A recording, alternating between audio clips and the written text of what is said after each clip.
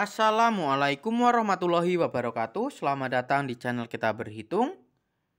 Pada kesempatan kali ini kakak akan mencoba untuk mengajarkan bagaimana sih cara menentukan volume balok yang memiliki panjang 40 cm, lebar 15 cm, dan tinggi 6 cm Kita langsung saja silahkan diperhatikan.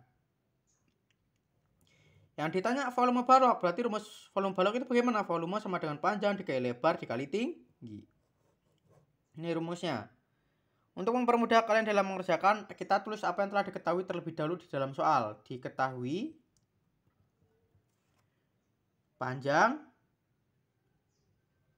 sama dengan 40 cm, lebar sama dengan 15 cm, dan tinggi sama dengan 6 cm. Ditanya volume balok.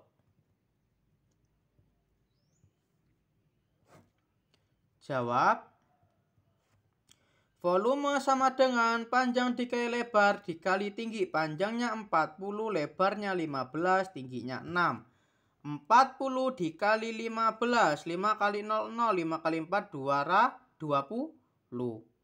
1 kali 0, 0. 1 kali 4, 4. Kita jumlahkan 0, 0, 6. 600. Kemudian 600 kita kalikan dengan 6. 0, 0, 6 kali 6, 36. Berarti hasilnya 3600. Satuannya apa? Kita lihat di, yang diketahui cm, cm, cm. Berarti satuannya cm kubik.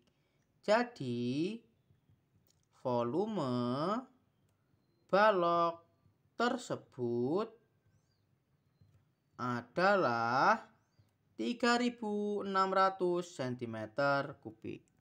Bagaimana adik-adik? Apakah kalian sudah paham? Apabila kalian sudah paham, kalian luar biasa. Apabila belum paham, silahkan ulangi lagi videonya. Apabila ada yang ingin ditanyakan, silahkan tulis di kolom komentar. Sampai jumpa di video selanjutnya. Wassalamualaikum warahmatullahi wabarakatuh.